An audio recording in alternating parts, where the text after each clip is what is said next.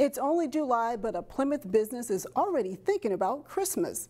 Delane Cleveland shows us what the company is doing to make sure folks can get their hands on a traditional holiday plant. In a nondescript greenhouse near the western edge of Plymouth, I like that I'm on my feet. It's something different every day. you'll find Nicole Michelson hard at work. I like that I'm always moving. I'm not someone who could just sit at a desk all day. She and several other employees at Len Busch Roses have an important job. So we just, they have these pots that go around and they have um, plugs and you put them in the middle of the pot. These plants may not look like much now, but in roughly five months, they'll bring the Christmas spirit to thousands of homes and businesses. Today you got to see us planting our 2019 poinsettia crop. The crew on the robot is planting stuff that will be ready right in time for Thanksgiving.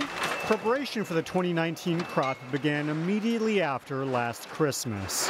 How much we're going to grow, when we're going to grow it, what colors, and then the material is ordered so that we can start planting them here in June, July, actually through September. On this day, the crew working the assembly line planted about 500 poinsettias. Today is actually the first time I've done the poinsettias on the robot.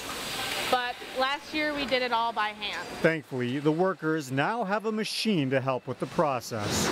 Immediately after they place the plants in their pots, the poinsettias go into large trays where they're doused with water before being moved to a different part of the greenhouse. And that's where they'll stay for the next few months. Poinsettias want to be about 20 inches tall, 18 inches tall, so they have a ways to go. Once it's all said and done, The entire thing is red. Len Busch Roses will produce 113,000 poinsettias this year. That's a lot of plants.